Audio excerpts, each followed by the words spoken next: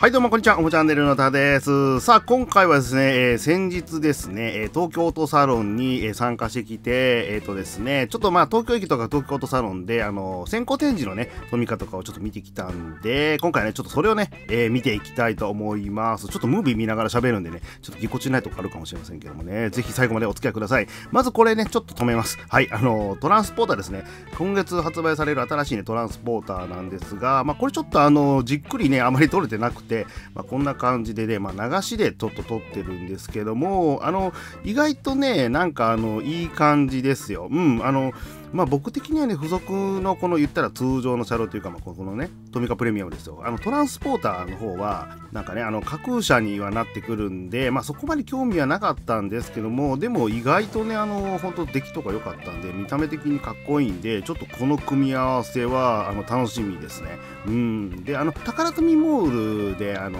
限定で発売されるモデルはちょっとここにあの展示はなかったんで、まあ通常版の言ったらまあ3種類になるんですけども、ね、非常にあの、っこよかったんで、またね、これね、登場ね、楽しみにしたいと思います。ちょっとね、流しですかね。はい、こんな感じになっておりました。で、ちょっとどんどん行きましょうね。はい、続いてですが、こちらが通常版とか普通のね、トミカプレミアムの先行展示になります。今月ね、もう言っても今週末なんですけども、はい、これね、鈴木ワゴンワールドに、ホンダステップワゴンに、あとはですね、トミカプレミアムが、えっ、ー、と、動画流れてない。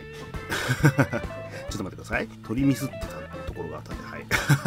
こんな感じで上から、えー、ステップワゴンとか、ね、あとフェラーリの F50 ですね。F50 が、えー、発売記念仕様といった通常版ですね。で、あとホンダ NSX のタイプ S ですね。こちらがありまして、まあ、箱はね、パッケージのデザインは、はい、こんな感じになっておりました。まあ、この辺はまあまあ、いつもと同じような感じのデザインですかね。で、こちらね、車両なんですけども、はい、左が、ね、ステップワゴンですね。ステップワゴンで、右が、えー、ワゴン R スマイルですね。はい、こんな感じになってまして、まあ、結構ね、あの、実物見てみると、このグリルの周りとかね、ほんとね、あの、よくできてるんですよ。このグリルのところ、本当によくできておりまして、うん、良かったかなと思いました。で、色はね、これソリッドのブラックですかね。はい、こんな感じになっておりますすね。で、このね、バンパーのところのこことかもほんと細かくできてて、ルーフとかの形とかもバッチリなんじゃないかなと思いますね。スライドドアがね、あギミックとかあってよかったんですけどね。で、こちらが A ワゴン R ですね。こちらが、えスマイルか。スマイルになってまして、まあ、あの、この可愛らしいね、顔つきとかも本当にあの、よくできてましたね。で、ヘッドライトはこちらね、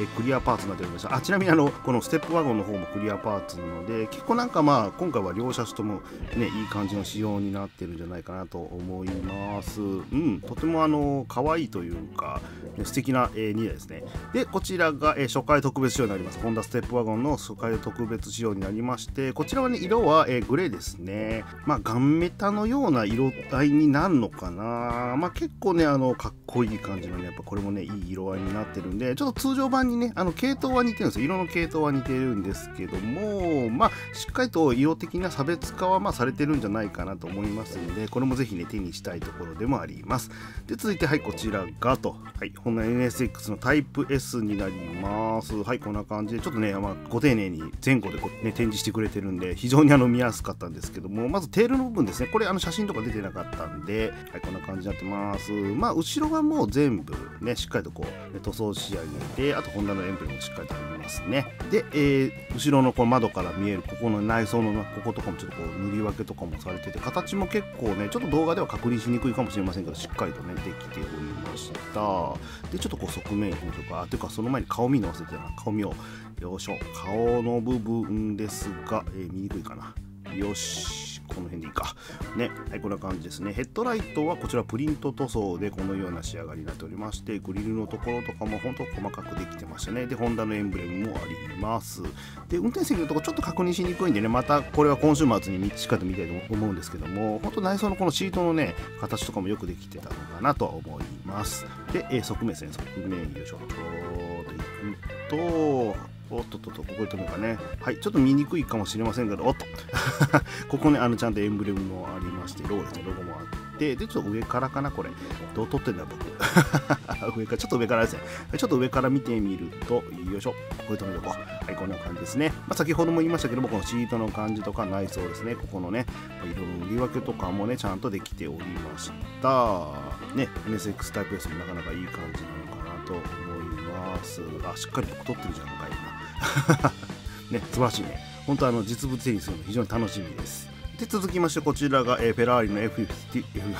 F50 になりますね。こちらも、えーとね、前後ともにこう、ね、2台ね展示されておりましたのでしっかりとね見ることできましたね。まあもう通常版はねこの赤色なんでねスタンダードなカラーでねフェラーリといえばねこの赤色なんでねまあこれが通常版で良かったかなと思いますがまあ作り的なところで言うとヘッドライトしっかりとクリアパーツでちょっとねブレブレで申し訳ない。あこここうやったら見やすいかな。はいちゃんとねエンブレムもありましてでここのねレンズのここのライトのところはシルバーの塗装ですね。で、グリーンのところちょっと見にくいですけどもね、フェラーリのエンブレムもあります。で、ちょっと行きましょうか。ね、で、このボンネットの形状とかも本当よくできてますよね。で、側面見てみると、ちょっとピント合ってないな。ね。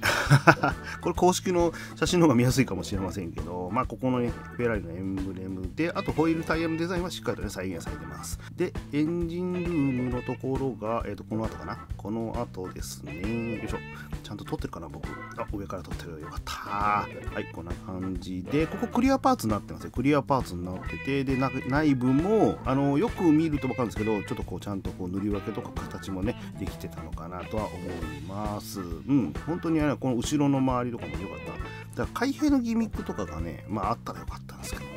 ちょっとそれはないみたいなので、残念っちゃ残念なんですけども、まあ作り自体は本当にいいかなと思います。で、ちょっと見にくいかもしれませんけども、このテールの、レンズ周りとかもちゃんとこう塗装とかね、あと形も本当よくできてますよね、この辺のね、細かいね、主張の形もしっかりとできてます。非常にあのかっこいい車体に仕上がってるのかなと思いますので、これも楽しみです。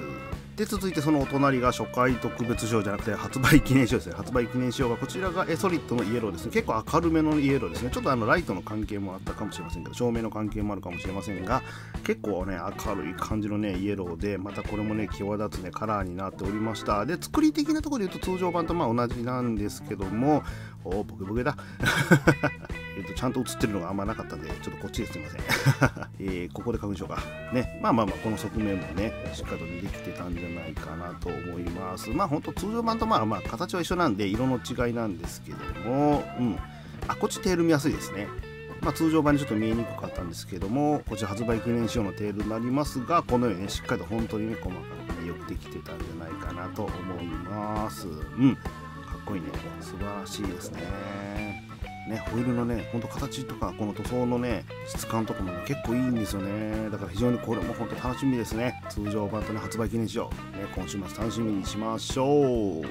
であとは気持ち程度にまた、えー、トランスポーターね箱取ってました。箱の感じはこんな感じ。結構あのしっかりとね下が箱になってるんで言ったらえっ、ー、とあれかな。トミカのねあの RS シリーズとかに結構近い大きさになってましたね。はい。こんな感じの大きさです、まあ、箱型っていうのがまあ嬉しいですね。あのブリスターじゃなかったんで。まあまあその辺は良かったかな。ブリスターちょっとねやっぱ あの管理しづらいんで。であとはちょっと写真になるんですけども、えー、東京都サロンで、えトミカプレミアムかな。トミカの、まあ、展示がありましてちょっとプレミアムの方がフェラーリの F50 とかもね、まあ、展示されております。でこの上の方にね,、えーとね写真があるんですよ。なんかパネルがあったんですけどそこにねあの FD2 ですね。それがね、あのね、なんか載ってたっていうね、話を聞いて、で、ツイッターとかで流れてるんですけども、さりげなく、まあ、なんかこう、新作が映ってたというね、お話を聞いております。はい。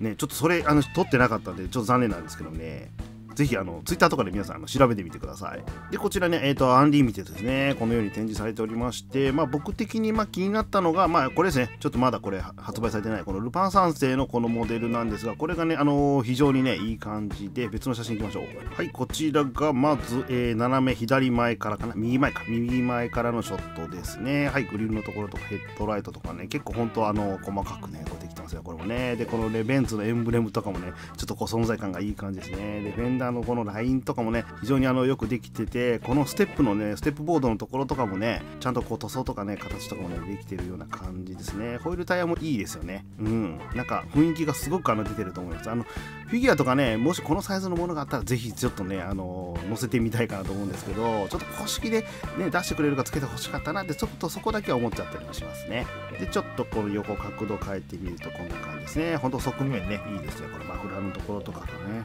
まあこっちの方が見やすいか、ね、マフラーのところとかこのサイドサイドボードですね。この最後のステップボードとかもね本当によくできておりまして。でこれフロントのねフロントガラスと言っていいんかな。ここの透明のねまあクリアパーツとかもありましてで最後までねしっかりとこう雰囲気ほんとねアニメから飛び出してきたような素敵な車両になってるんじゃないかなと思います。でそれ以外は、えーと、結構あのざっくりと 写真ポンポンとしか撮ってないんですけどもこちらがまあジブリのトミカにドリームトミカですね。それ以外のドリームトミカがこんな感じで展示されておりました。まあこれはまあこの辺はもう現行品ですね。であとこちらがね先日紹介しました東京都サロンで発売された、ね、トミカたちになります。まあこれに関してはあの通販でえっとね1月30日からかな。一応ねあの全てのモデルがどうやら宝富モールで、まあ、数量はわからないんですけどね発売されるみたいです。あの現地はねシルビアがどうやら売り切れたみたいなのでちょっと心配だったんですけども行けなかった方もね宝富モールで30日にね購入することができるような感じになってるみたいなのでねぜひそちらでね気になる方は手に入れてみてください。多分ねサーバーとか結構混みそうな感じはやっぱするんですよ。で数が少ないっていうちょっとね憶測も立てられたりするんでもし購入される方はねちょっと公式ページの方ねちょっと見とこうか。はいこちら飛んできましたね。あちゃんともう表示ありますね。はい。1月30日の12時からねなくなり次第終了というね形になってましてね。まあ、あの、宝富モールかな。宝富モールって書いてないかな。まあ、でも、でもモールですよね。多分モールだと思いますが、まあ、こんな形でね、4種類ね、一応発売されますんで、気になる方はぜひ、あの、ね、こちらで購入してみてください。ちなみに、えっと、クーポンとかそういったものはあの利用できないので、一応、まあ、定価にはなるんですけども、まあ、送料ね、プラスするだけで購入することができると思いますので、で、1人何台かな？何台かきりとか書いてるのかな？あ3個ですね。1人3個まで注文できるんでまあ現地と一緒ですね。3個まで購入することできるんで多分送料は3個ずつ買うとまあ無料になると思うんですけどえっとね全部3つ買ったら1万ちょいするんで、まあ、そこそこのお値段になりますんでまあお財布と相談の上ねちょっとね買ってみてください。出荷は2月の2日よりとなっております。まあ、ということで、えっ、ー、とですね、今回は先日ね、ま東京オートサロンのために東京まで行ってきたんで、ちょっとね、あの先行展示をトミカとか、いろいろちょっとね、見てきたんで、ざざっとね、お話ししながら見ていきました。まあ、今週末にね、発売されるモデルばっかりなんですけども、まあね、先行展示見た感じは、まあ非常にね、安心できるね、素敵なね、車両に仕上がってたと思いますんで、またね、あの、週末手にしたらね、あの、じっくりとね、動画の方もね、お届けしたいと思いますんで、そちらの方もね、楽しみにね、待っていてください。まあということで、はい、今回はこの辺りにしていきたいと思います。ホモチャンネルのタルでした。皆様のね、チャンネル登録やコメント評価、どんどんお待ちしますので、よろしくお願いします。あと、Twitter やね、インスタ、そして最近のご覧の公式のところでね、そちら限定のね、動画も配信しているので、ぜひね、お止め登録よろしくお願いします。では、今回もね、最後までご覧いただきまして、本当にありがとうございました。またね、あの動画でぜひお会いいたしましょう。ではではごきげんよう。さよなら。バイバイ。